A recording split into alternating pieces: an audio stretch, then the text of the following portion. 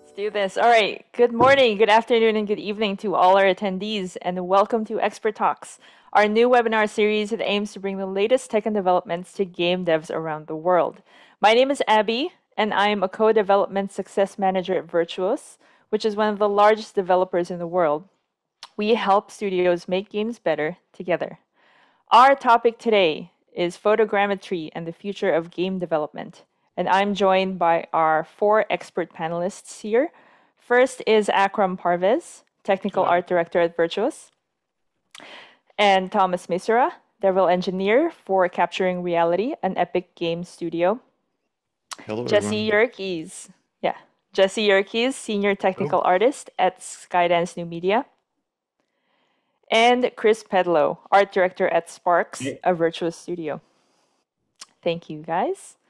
All right, so thank you all for joining us in this live webinar. Yes, we are live.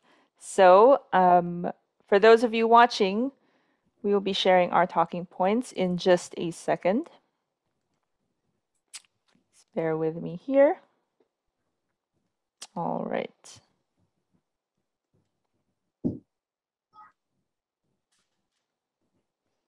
Okay, assuming everyone can see my screen.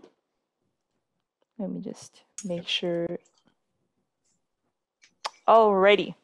So we have a loaded agenda here.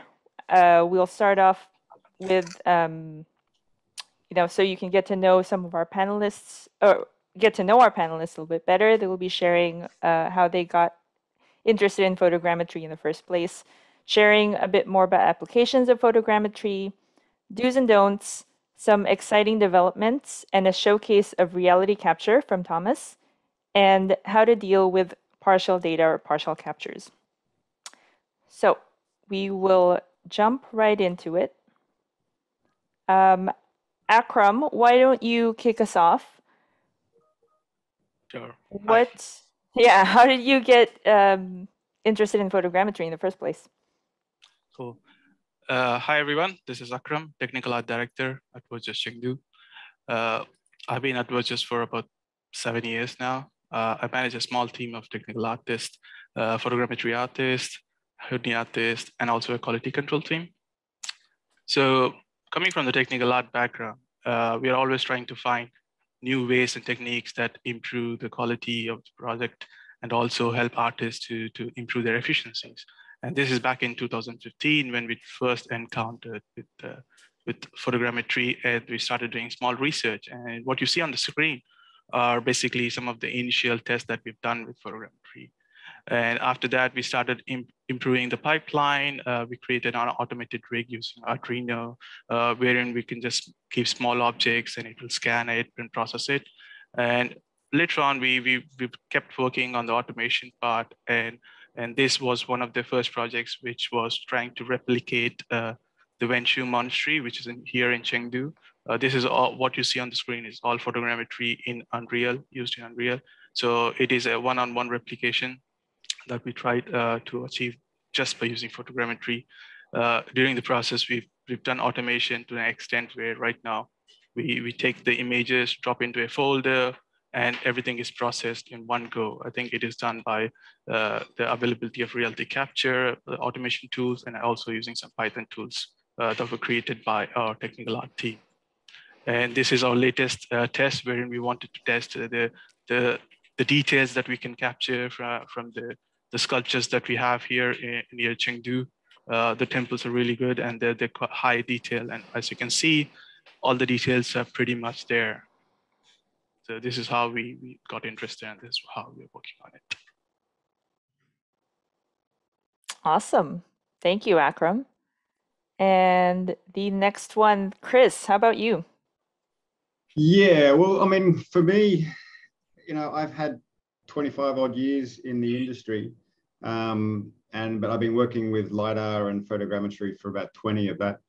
And the my primary art style is realism. I've been I've been chasing realism in in CG for you know quarter of a century.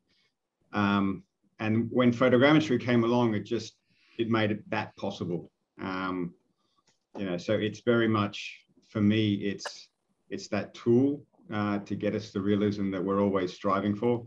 Uh, a lot of my work is in VFX as, as well as games. So it's, you know, that's a big part of it. Um, the other aspect is speed. Know, it, it takes weeks and weeks worth of work and crunches it down into a few days. Um, so apart from just making production times quicker and, and making everything a little bit cheaper, it it really allows you to iterate more and to play around with the scene or a location more to you can use the photogrammetry as, as a, a, a layout tool almost um, and then you know probably for entirely selfish reasons i love it because it gets me out of my chair away from my from my desk um, and i get to go off to you know there, there can be studio shoots you know like this one here on the left um, you know, but we've been up into the jungles here in Vietnam. Um, I've done shoots in other parts of the world, you know, relatively exotic places. Uh, but then just a quick day shoot here in the back streets of, of Vietnam as well in Saigon. Um, just all these different things, you know, rather than just sitting around in the office all day long. Um, and then there's the the opportunity to turn realism and and you know a realistic scene into something fantastic. Just go to the next slide quickly, Abby. So you know here you've got you know this could be Crait in the Star Wars film, right? It's a very exotic location, huge chalky cliffs, you know, something that you've never seen on planet Earth. But if you just go to the next slide, Abby, it's actually just a sand dune. These are my kids playing in it here, right there.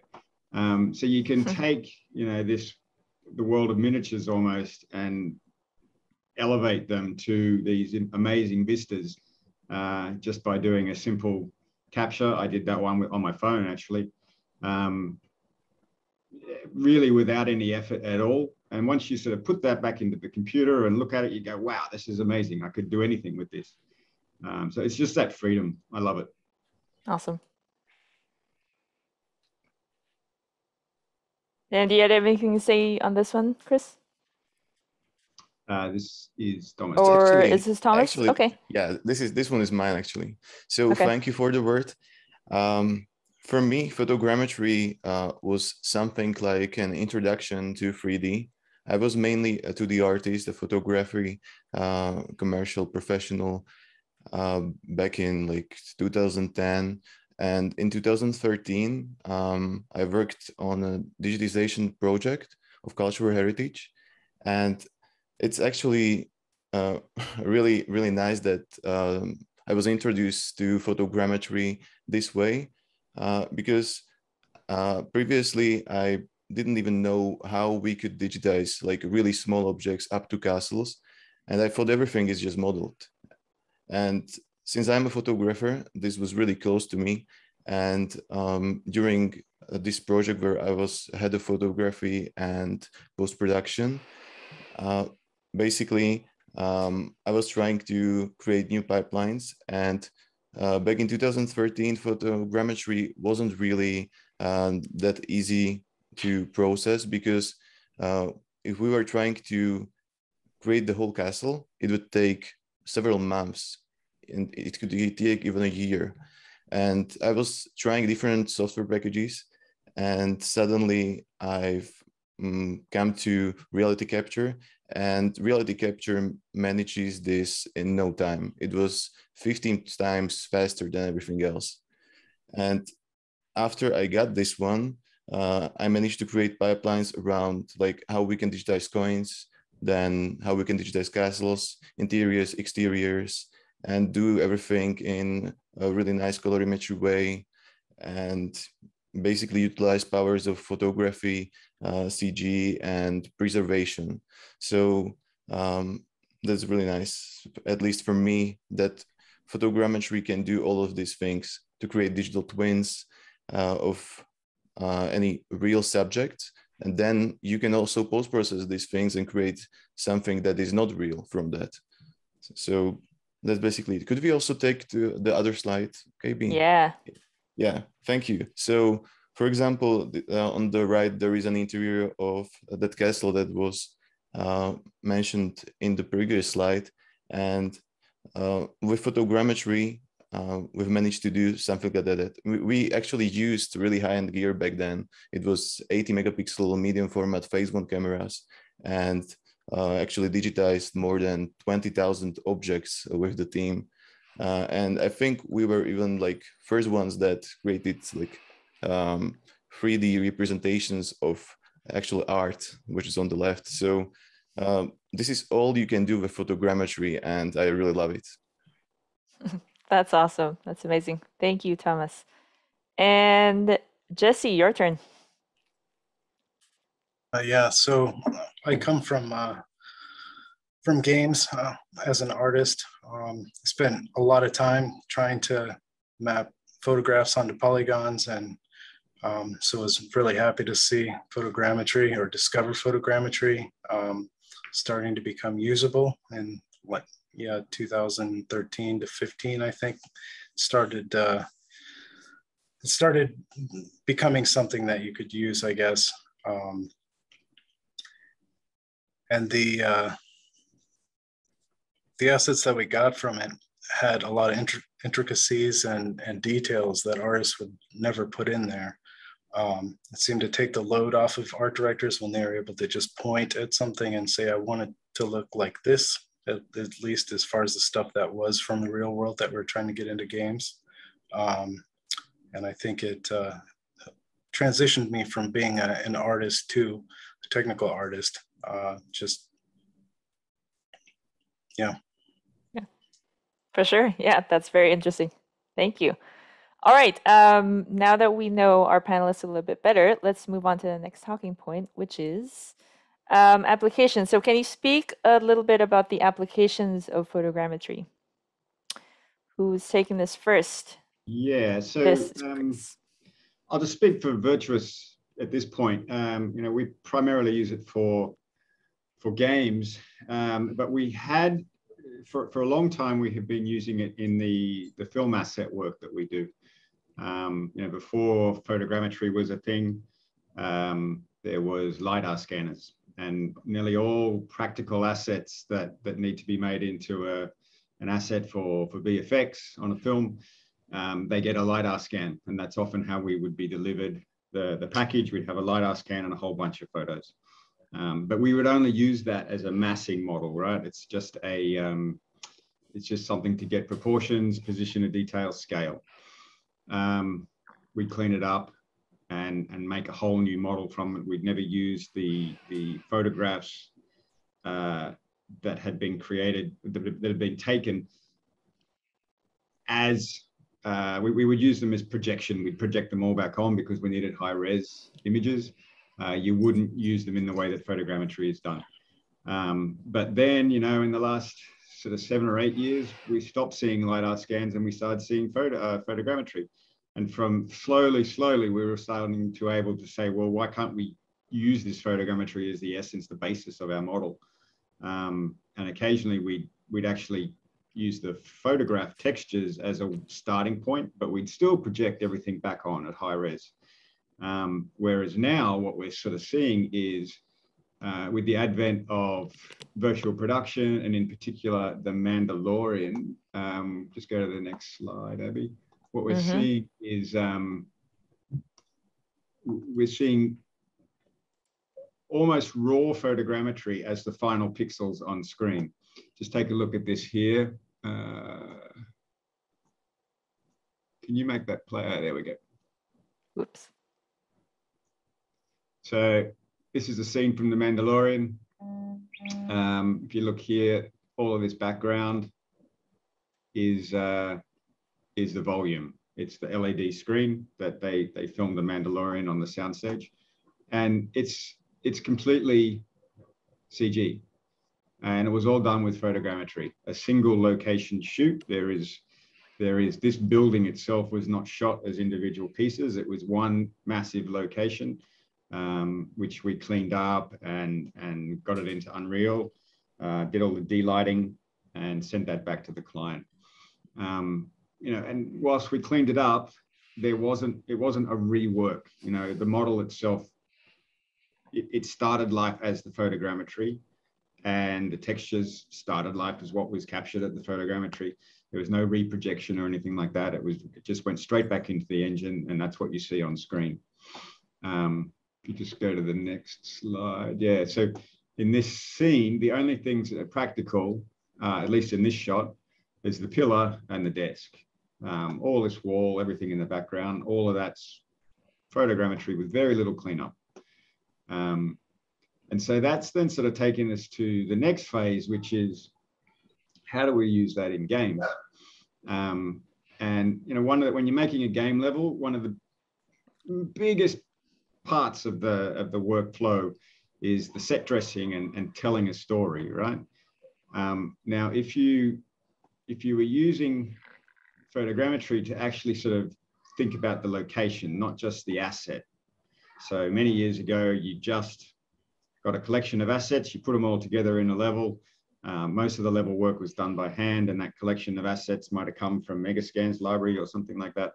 And everything was pieced together, and you had to still imagine what the whole scene would look like. You were sort of working off a concept and things like that. Here we're flipping that, and we're saying the location is the concept uh, use the location to drive your set dressing. Um, so in this case, we capture the location. You see that on the right here. Um, that's a, a, a full uh, vista capture that we just do quickly. It's quite low res. You can't see. You, you wouldn't use this in game. It's just a it's just a, a layout tool really. Um, but then you go on to look at stuff like you know this absurd detail that a level artist, you said it perfectly, Jesse. Level artists just wouldn't do this usually. They're not going to just add this random brick in, on a piece of tile. What's that for? Why is this hose here, kind of thing?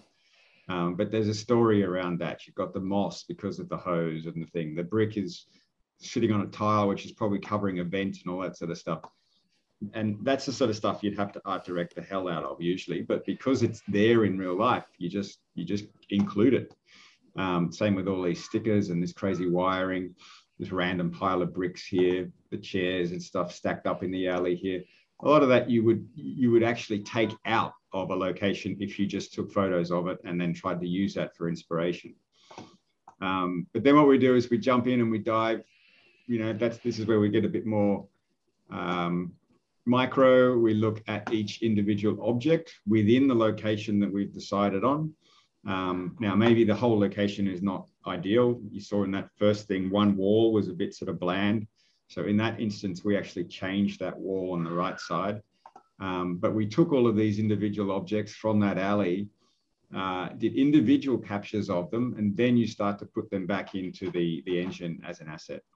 Um, and we are finding that as an invaluable as a way to work. Um, it might not be the final look at the level. You know, it may not be the final layout or the final uh, assets, but it's a really great starting point, um, and you can build on top of that. I think here, if you look at this building in the middle here, the bottom half is pure photogrammetry, whereas the top half, we couldn't access that. So we've used materials and surfaces and some wall details that we took from other parts of the same location, and we've added them onto there. Um, so it doesn't have to be a, a, pure clean model. It can be something which is mixed together to get your desired results. Um, something else that I'm experimenting with, uh, oh, sorry, here is this thing here. Though. There's also this tendency to kind of clean things up a little bit too much, you know, remove some of the, the dirt and the mess.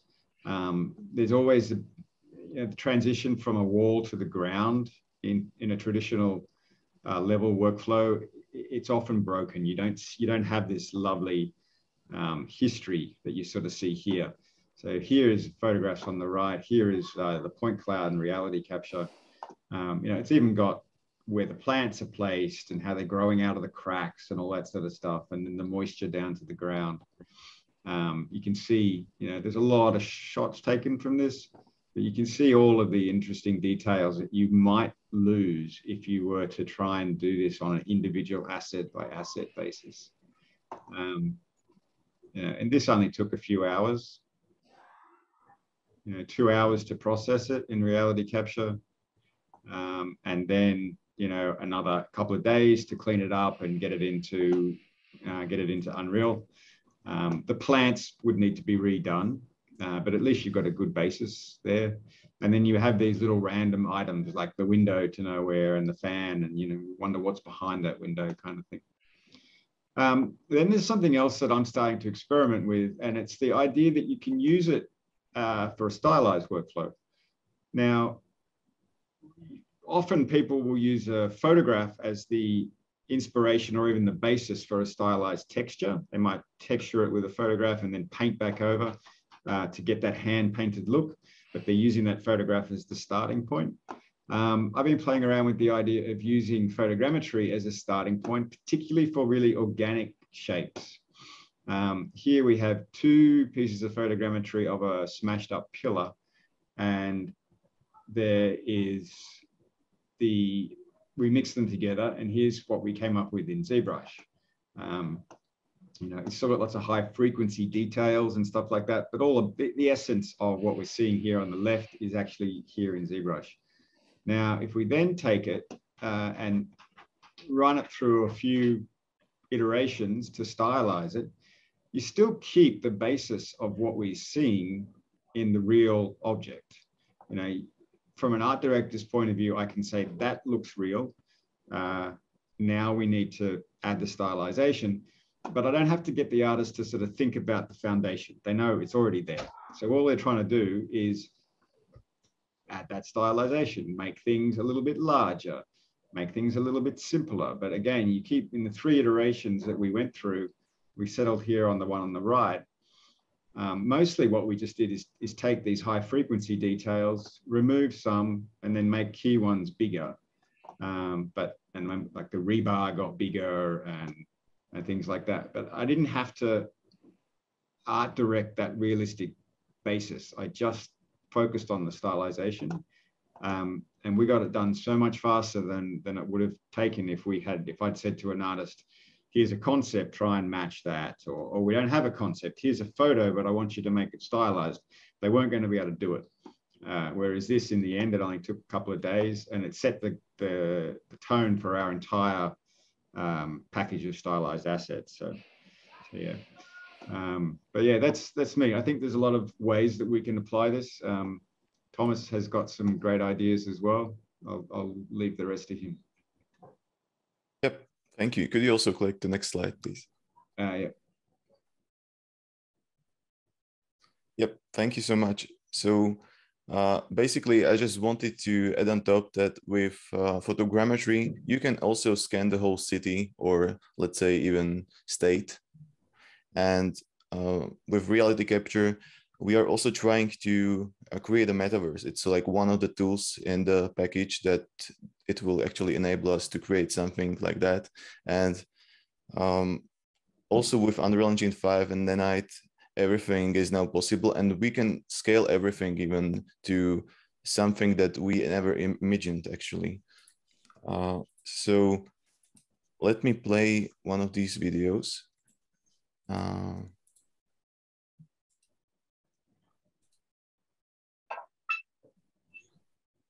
all right. So it could look something like that. Basically, you can digitize the whole city and you can use this however you want. You can use this for even surveying, mapping, and measuring purposes, but also in games, VFX, um, no like use case is just one of the things but at the same time uh, when photogrammetry can enable you to do something um, great like this one that you are not limited to detail and you can actually walk around the city or fly over with a drone and stylize your shots however you want this will actually uh, enable you to do something that wasn't just um, unimaginable before, I would say. And yeah, that, that's basically it regarding these um, like cities digitization. And also, uh, this will enable everyone uh, to even work with these large ATs, even for like architecture purposes. um, measurements and BIM modeling, um, the whole market can benefit for that. Not just like game and VFX, but I think everyone really. Uh, so you don't actually have to use LODs now. And with Nanite uh, in Unreal Engine 5, you can just streamline the process and work with it in real time, which is awesome for me. Yep, that's basically it for me. That is really cool, guys. Thank you for sharing. Um, so now I think we can move on to the next talking point. Um, what about the biggest do's and don'ts in photogrammetry? What do you got? What do you guys have to share about that? Akram, kick us off.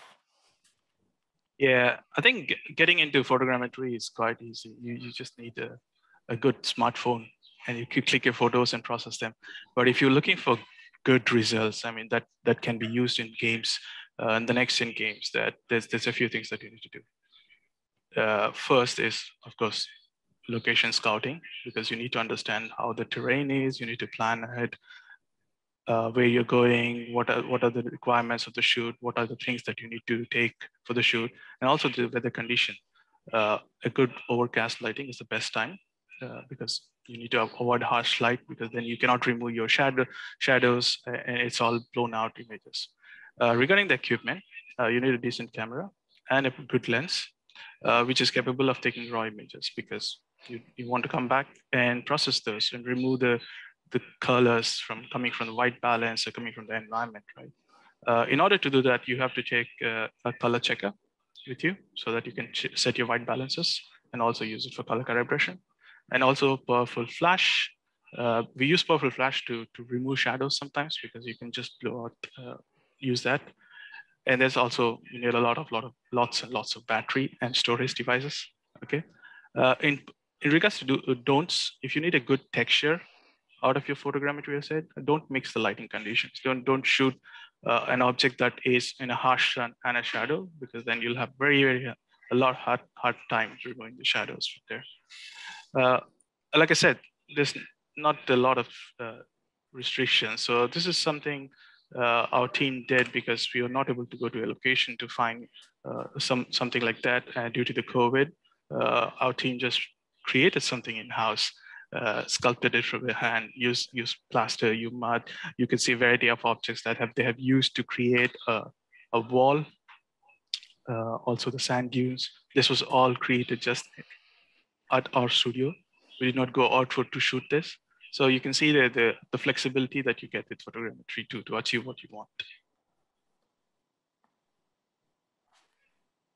Cool, that's it. Awesome. Thanks, Akram. Who's taking this one? Uh, there's just a few points from myself. Um, as the end user, you know, the art director trying to get the artists to process these, process these images and get them into game. Um, it's really, especially if we're not on the shoot itself, it's really handy to have some video of, uh, in particular, the surfaces, so you can understand how what the roughness is like, um, you know, what the scale of the grain in the wood or something like that might be like. Um, and also so we can kind of get an idea of, you know, you, are going to often get orange peel in um, your surfaces from the from the photogrammetry itself. It's it's not never quite right in terms of that surface, especially if it's a smooth surface. So if you have that reference close up photo or video of moving around the object and seeing the height, the light play across it, um, you get a much better idea of what to do with your roughness maps. Um, some scale ref is also useful. Um, I, I, find even often just putting a hand on a surface. So you, again, you can get that idea of is, is that orange peel you see in the, in the photogrammetry correct or should that actually be removed? Um, and then I was, I was checking out a tank yesterday, big old American tank from uh, 40 years old. And a sound recording would be interesting because it's it's something you can't really convey in a uh, in a piece of CG, right? What what does something weigh? You know, how big is it? How heavy is it? Um, and I was banging the side of this tank, and, and there was no thud or echo. It was just dull, uh, and that says to me that it the, the, the armor plating is really thick and it's solid, right? Um, so a sound recording so you can get a bit of something for your sound engineers, but even just an idea of uh, you give that to the artists and it helps to sort of them to understand what it is they're creating. Um, and then I would also say a, um, a massive don't is don't clean it up too much. You really want to get the nuances that you're seeing in that in, in the in the, the mesh itself. You know the layers of paint in the crevices, um, the the roundish edges that you sort of see on on objects that have aged. Um, you don't want it to look like a melted ice cream, but at the same time, you, you don't want to remove everything and go back to hard edges. Like you're gonna do that, you may as well build it from scratch. Ooh. Okay, next up, Tomas. Some do's and don'ts from you. Yep. Um, I'm just going to the next slide. Could you actually um, Yep. move to the next slide? Thank you. So um, I would like to actually focus on do's and don'ts regarding mainly capturing process. Uh, some of these don'ts are um, what I'm never trying is to limit image counts uh, while I'm capturing because while I'm on the location, I would like to capture as many images as uh, I desire because if there will be some images actually missing, um, that could be a bummer actually. And uh, I could not get mainly the part I was intended to scan. So um, I'd like to even overshoot some and maybe pick only few images later. Um, it's the best strategy, I would say. Uh, don't undistort your images is the next point. Um, of course, in certain uh, workflows, you can do that, but for any basic user, uh, which is just start starting with photogrammetry, um, please don't try to use any like uh, camera lens profiles for your cameras inside Lightroom or other post-processing programs for photos, uh, because uh, reality capture and other photogrammetry softwares are actually calculating the accuracy uh, with these distortion models. So that's just like one of the points about don'ts. I can see that a lot of people are trying to do that. They don't know why. So I'm just trying Mhm. to casually describe that. of course, don't crop your images because if you will crop these, again, you will lose uh, information, but at the same time, you will lose the information about the lens, the, the sensor, about the curvature, uh, about the distortion. And these are all important parts of uh, like how photogrammetry is calculated. So please don't do that. and of course, though, don't oversample your images with like AI, algorithms. There is a, like a lot of them nowadays.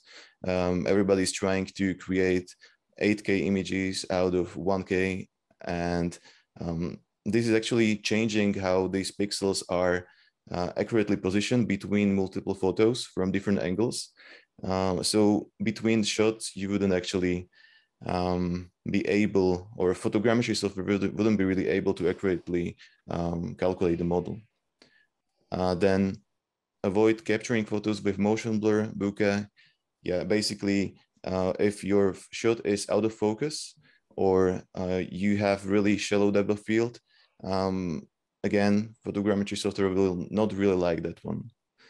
Um, and some of the don't do's actually um, try to achieve 80% overlap uh, between your images. Yes, this is ideal. Minimal is usually 60, but try to do these overlaps even when you are actually uh, going back and forth, like closer to the subject uh, than to the distance. Try to create these interframes even between these positions, not just like vertically and horizontally. Try to do it even in depth. Um, also, stop down stop down the aperture if it's possible. Uh, yeah, if the exposure triangle actually um, gives you the option to stop down your aperture and you have some strobes with you or some other artificial lighting or ambient lighting is good enough, just try to stop down your aperture. Of course, don't do it like too much. Uh, let's say like f16 or something, because then you will get diffractions from the lens. But yes, if you will shoot around like f8, f10, depending on the lens you are using, uh, you are all good. Uh, should raw, this is something like optional, but if you want to get the best quality and you are actually post-processing your images, shooting raw is always the best option. I use high quality lenses. Yes, of course. I personally like to use primes, but I think even zoom lenses can be nowadays better and better. So just use good lenses and you will get uh, best image quality and then best photogrammetry models, of course. And as I mentioned earlier, yeah, just try to set your exposure triangle correctly. Uh, also, uh, I would like to go to the next slide. Great. Uh, so here are some of these um, schematics where I'm actually trying to show how you could capture these images. Uh, so basically, if we are talking about a cube, you want to create the sphere of camera positions around the subject. So from like all sides, you are trying to create this overlap. And um, ideally, you want to have something like up to 30 degrees between these um, camera positions, but this is well known. I'm just like saying it for maybe newcomers mainly. And when you are digitizing a subject, just create one um, one position, then step to the right or other direction to create another position and try to uh, never actually do like panoramic style shooting uh, like I will be showing right here. Uh, yes, so this is the ideal scenario. Um, by the way, this is just artificially created.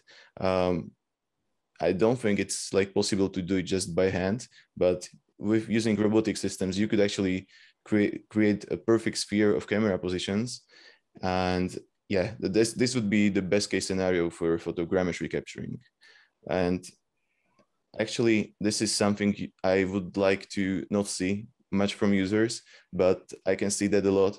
Uh, they're actually not moving while they're shooting, but actually uh, they're using some panoramic style shooting and this will not create accurate 3D information for photogrammetry software if you are not using like a proper camera rig that is measured and everything. But uh, these are like don'ts usually. Just don't do that, please. Um, what you want to do is to create stereo pairs instead. Uh, so oblique shots, and you don't actually have to face, let's say, a wall uh, directly, like 90 degrees, but you want to create these oblique angles instead, because this will create more accurate 3D information. And do this vertically too, not just horizontally, because this is the top view.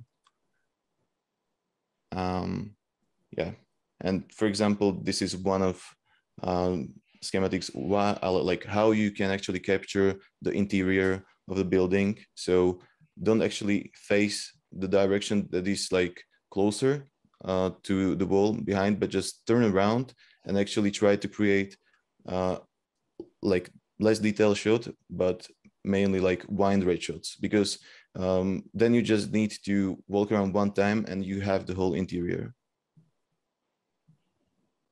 Uh, now to reality capture workflow, uh, I will try to really briefly just uh, talk about how you can work in reality capture.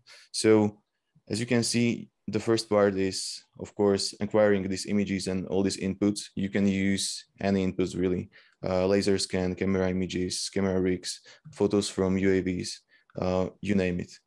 Uh, you Then you will just post-process these images or drag and drop directly to reality capture, which I will be shortly showing. And then the workflow is pretty much straightforward. Um, the first part is alignment. So calculating camera positions, creating sparse point cloud. Then there is the reconstruction, uh, which is basically meshing.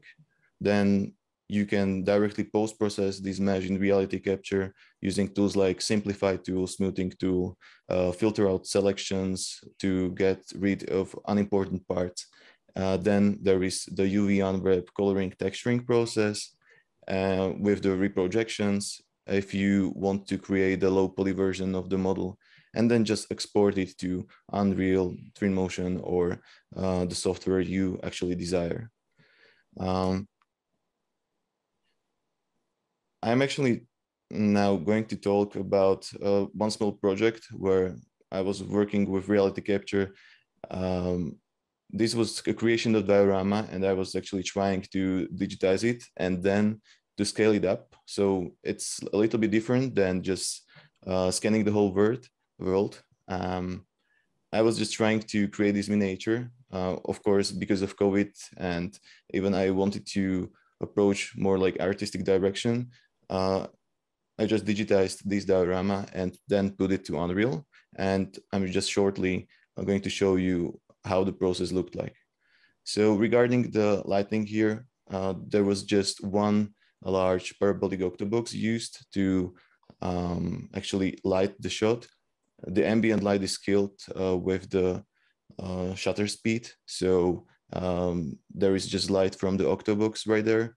I took like 400 images and use uh, the calibration chart for white balance and there are some uh, parameters regarding camera, um, as you can see on the screen.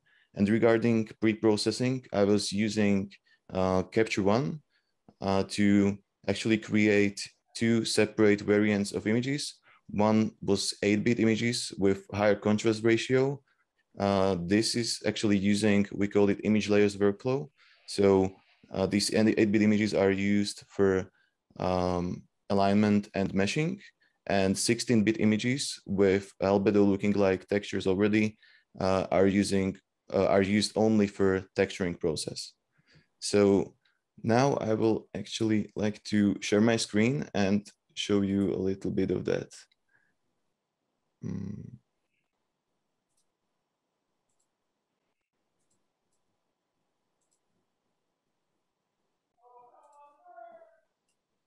Um, yep. Could I please get the access to the sharing? Yeah, I can stop this and you can go ahead and share. Mm. Great. Let me know after you will see my screen. Yeah, I think it's good. Yep, yep. Great. So first, I'm going to show you these inputs. So basically, uh, what, Im what image layers means, I will just create two folders, which is like underscore geometry, then underscore texture. And inside underscore geometry, there are these 8-bit images, which are more contrasty looking like, as I said before. And then I also have another one, which is called underscore texture. And here I have images that look more like without blown out highlights, without any specularity shadows. Uh, that's what I'm using for texturing. Then I would just drag and drop all these images to reality capture. And basically, uh, this is what I would be getting. Um, I can also go through these images in the 2D as view to just verify I got this correctly. And after I will click on 2D and click on tab, I can actually switch between these layers to see like this one is mostly without shadows and highlights, and this one is more contrasty for alignment and meshing. Uh, so after I got this correctly, I just went to alignment tab, click on align images. Regarding some settings, I was using uh, max features per megapixel uh, to set to 40,000, max features per image to 80,000. Uh, just one suggestion, don't put really high numbers here because uh, then you will introduce a lot of false positives uh, to because uh, if you will have too many features calculated with reality capture, uh, you could actually get inaccurate alien alignment. So I've seen some users are actually using really, really high numbers here. So I wouldn't really go higher than this for anything which is up to 40 megapixel per image. Um, then I got this sparse point cloud, which is this one, and you can see camera positions uh, which are calculated this way. Uh, the strategy here was to create uh, the overall structure of the diorama, and then I was basically uh, trying to take each of these parts uh, individually as separate objects. So uh, mainly regarding car soldiers here, uh, I was even trying to digitize them like separately, but at the same time uh, to interconnect this capture to like the overall, uh, let's say, miniature drone flight. So that was the strategy. After that, I just uh, defined the reconstruction region and use these widgets to um, just get rid of everything which is outside. And yeah, I think uh, it's um, that's basically it. Then I went to the mesh model and clicked on high detail to get high resolution mesh. And this is basically what I got. I'm just going to shortly show you the model and disable tie points and also camera positions. So this is basically the model I got. I also had to filter out some parts right here because um, there was some specularity in this uh, window. So all I needed to do was basically just to create a selection. I also have it here on the video, which I can show you. And yeah, it's right there. So basically I just had to select this part and uh, then get rid of it with the filter selection tool you can also do that in like any other application with no problem. So uh, you can export the model, then um, put it back to reality capture and go on with the process. But I like to do it in reality capture because I don't have to use any other program. Then I just use a clean model tool and this was actually it. Um, I got this like closed already without any holes. Uh, then I just went to the texturing process using UV unwrap and um, yeah, this is the actual part. Uh, so this is how the UV unwrap would look like if I would just fill in with the charts. And yep, this is basically it. Uh, the last part was the simplification process, which you can find after you will click on the 3D scene, which is right here then going to context tab for that window and going to simplification tool to simplify the model, which was uh, 75 million in the raw. And I just calculated 10 million triangle uh, simplified one with the using simplification tool. And then uh, using reprojection tool, I've calculated normal and displacement map and also reprojected textures from the high res model to the low res one. That's basically the workflow. After I was satisfied with the result, I just uh, went to the workflow tab and exported the mesh. So um, that that's basically uh, the workflow. And I can also show you uh, how it looked like in Unreal Engine. Um, I'm just right. Yeah, Tomas, we have it. about ten minutes left. Oh, um, sorry about that. So, no worries. It's cool stuff. It's easy to get carried away. Yeah, yeah. I, I think I just wasn't really paying attention to the time. I'm sorry about that, but that's all good. Yeah, I'm just going to really, uh, like in a second, show the final part, and then we can just get going. Yeah. So this is basically uh, how it looked like. I also used some mega scans to just place them and some planes and um, really fast lighting to uh, create some story ab about the diorama. And yeah, it's in real time and everything is nice and clean. Just like, yeah, this is basically it. so thank you so much. And I'm just going to stop sharing now. Yeah, awesome. Well, thank you, Tomas. That's definitely, I'm sure a lot of people really enjoyed uh, seeing that um, workflow. I know I did. Um, so we have a couple more talking points left. Um, one of them being, so we'll just kind of power through them. One of them being um, exciting tech developments in photogrammetry. Any you see? Jesse, you want to take this one?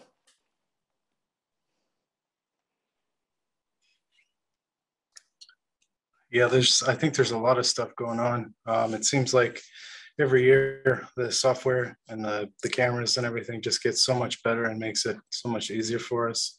Um, automation, I think that's what I'm really excited about. Just being able to take a drone somewhere and and have something pre-planned or like the stuff stuff that uh, Skydio is doing with just complete AI um, capture. You point at an object and it uh, figures it out for you, um, and you can tell it I want 80% overlap and and let it go. Um, yeah, so automation. That's that's the stuff I'm looking forward to. Awesome. Yeah. Cool. I'm I'm actually looking forward for ma- machine learning applications in photogrammetry. I mean, there's some research that uh, that's out there wherein you- from a single image, I mean, you'll be able to create characters. So I, I'm looking for for those applications in environment wherein it can fill holes because you can just give some images and some of them are even if some of them missing, then AI figures it out and to fill holes. I think those are something that I'm looking forward for in terms of exciting features.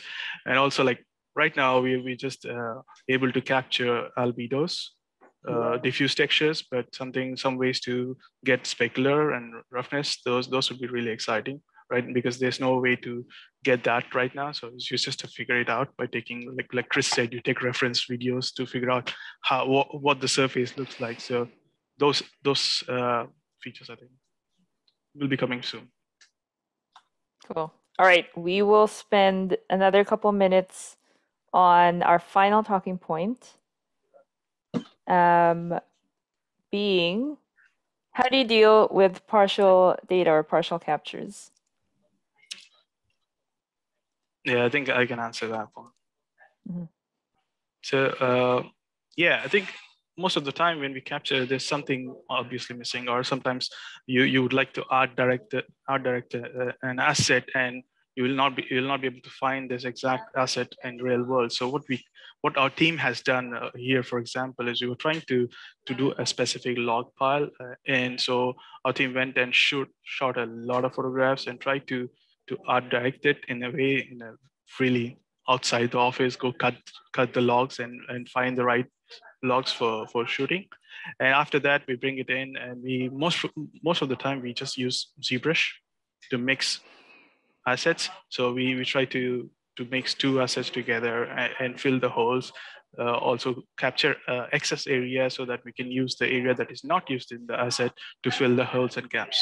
That's the process right now. Most of it is in ZBrush. Awesome. Um, I think we're gonna skip this question for now, and we will jump right into our live Q and A session. Um, we're running over, which is always it's a good sign because we're having fun. And so, yes, uh, we're gonna jump into our live Q and A session. We are opening the chat for questions, and one of our behind-the-scenes moderators will be um, selecting questions for our panelists to answer. So if you have, if you'd like to direct your questions to any one, uh, one or more specific panelists, please go ahead and mention their names. Otherwise, we'll just go around the room. So, all right. Give me a second here to open. All right. Anonymous attendee asks, have you met any challenges when applying photogrammetry in your work? Challenges? Yes, I think I can take that one. So Mhm. I think that the biggest challenge in it's not actually taking doing photogrammetry. It's actually using that uh, in combination with the assets that you create. So because photogrammetry assets tend to be really high detailed and high, they, they're realistic, right? But you have to mix them. You can't just sometimes you you, you cannot just use as is. You have to art direct these assets. That's the biggest challenge that we face. Is how do you take existing photogrammetry asset and put it into an environment where most of that is not photogrammetry you, you've done it created by hand so how do you how do you ensure that's consistency with Mhm. with handcrafted assets and, and photogrammetry assets so that's the big challenge not actually use taking doing photogrammetry it's how we apply it Uh, Awesome. sunlight is a bit of a problem. yeah too much of it. Nature is your of enemy. Um, you, you mentioned the screens, the the reflectors. It's also you know uses a, a, a light diffuser as well. I think that's that's vital. Yeah. Which also means you then need to have a crew with you when you're actually doing your shoot. It's, it's Yes. it's hard doing it on your own sometimes. Um, For sure. Cataloging your work. Uh, you know, as you're taking the shots, you know, actually trying to catalog it as you're going. So you know, using the old cue cards and things like that to actually name your asset, all that sort of stuff. Just I find you come back and you've got 30,000 images and you're like, I don't know what it all was, but um, Makes sense. All right, next one. Are high resolution inputs required for photogrammetry? Open question again. Well, I can take that one. Uh, basically, regarding high resolution, uh, we are now in the point then there there aren't really necessary uh, to use really high resolution inputs if we are just talking about like creation of basic assets. Of course, if we are talking about digitization of whole cities and you want to also save money and uh, you don't actually want to use that many camera positions, it's kind of necessary. But for casual shooting, casual asset creation, you can stick with like even 12 megapixels, 24 megapixels, and you are all good. You don't actually need to have anything more. What is what is actually more important is the image quality, um, and like quality lenses, a good sensor, low noise, um, great white balance, things like that. Yeah. Awesome. All right, some more questions rolling in here. One from Mike Samsonov. Jump right through the question is uh, about stereo cameras usage for photogrammetry. All these new lenses from Canon, etc., new rigs. Do you think it will increase the quality? Is it useful? I guess that's kind of like what you were saying, Tomas, right? Yes. Ba- basically, I think- it's uh, connected to that, but yes, you go ahead. Well, I was just gonna say that I think that post-processing might be difficult with it. Um, and that it could be useful, but I have a feeling that just having two cameras would probably be better.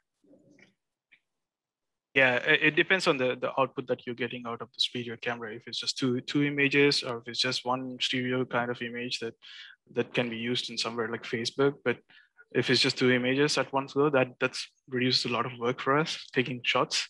But Yeah. if that's not the case, then yeah, frankly, I, I haven't tried it out yet. So Okay. Uh, a question from Wallace Wainhouse for, for Chris. How well would the Mandalorian sets uh, coped with brighter lighting or side lighting? Basically, how sketchy were the mes- meshes? The lighting looks quite forgiving. Uh, they were pretty good, and again, sunlight. um, everything we received was was taken on a cloudy day. Um, the interior of the of the client's office had a lot of delighting that was needed because those big windows that go all the way around, which I actually think was what attracted them to the location. Um, they had light just spilling in, so we had to delight all of that.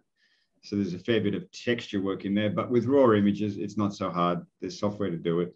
Um, and even just get in there and do it by hand. Um, but yes, ideally, you, don't have direct light. Okay, gotcha. Uh, next question um, from Hugh. Thanks for sharing your knowledge. Can I ask how do you deal with such high data information from Scan when you put it in Unreal? I know Nanite can handle that, but when I when we first import the scan in Unreal, it's very common to have Unreal freeze and not respond. I could take that one. I, Yeah. I know um, if you pre-compute your normals, uh, your vertex normals and not have Unreal do it, then it, it cuts the time down by like 95%. Um, but if you, if you have Unreal do it, yeah, it could take an hour to import an asset. Also using LODs. Uh, that's just like you can also use a level of detail and then just streamline the whole process with that.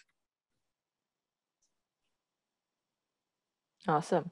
And I think this might be our last question. Uh, these may not uh, relate to photogrammetry, but more about a new technology called volumetric video, which the output is almost the same as photogrammetry, but with animation. Does capturing reality have any plan to integrate this tech into reality capture? This is my question for Tomas.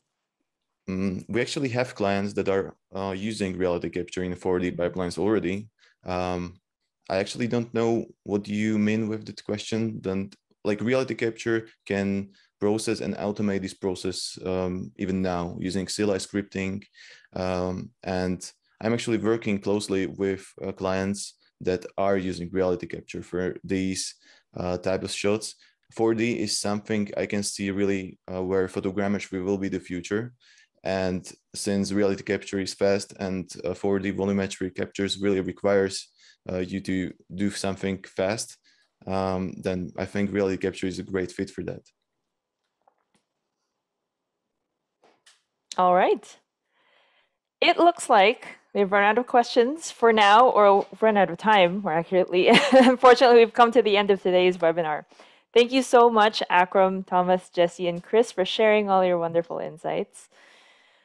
And of course, thanks to the audience for your time and your questions. If you have any more that uh, weren't answered tonight, please send an email through uh, uh to marketing at virtuosgames.com.